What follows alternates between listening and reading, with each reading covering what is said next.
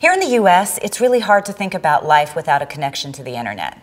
But for five of the nearly 8 billion people in the world, that's an unfortunate reality. Today, I am excited to introduce to you a new Google product. We call it Project Loon. It was described to me as a series of balloons equipped with LTE and Wi Fi. Each balloon would be connected to one another, sort of like a string of Christmas lights in the sky.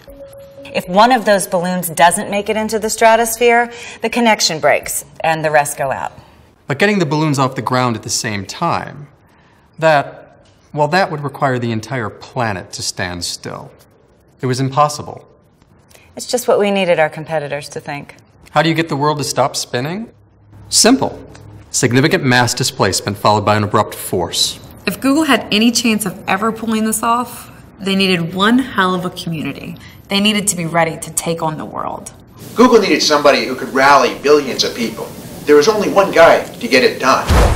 So I came up with a three point plan of attack. First, we needed global reach. Second, we needed men and women strong enough to make it happen. Third, and most importantly, we needed a dedicated community that would get behind the cause. Quite frankly, I thought they shelved the project. And then one day I hear someone in my office talking about this Spartan race. And then we're barreling through fire, throwing spears. Good thing you're not doing that again. What are you talking about?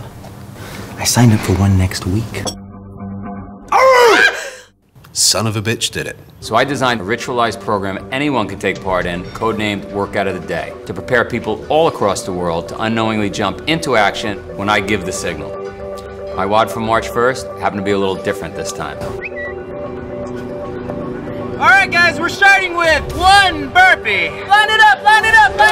it up. Line Five, four, three, two, one.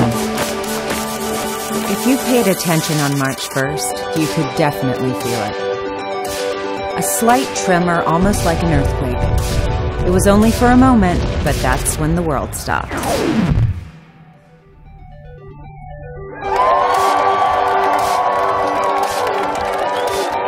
It was the burpee felt around the world.